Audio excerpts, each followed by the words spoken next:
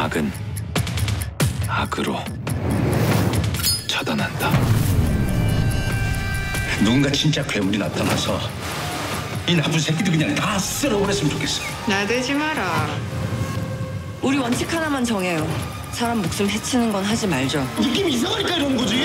난 협상이 아니라 경고를 하러 온 거야. 난 이 쓰레기 같은 짓을 절대 용서하지 않을 거야.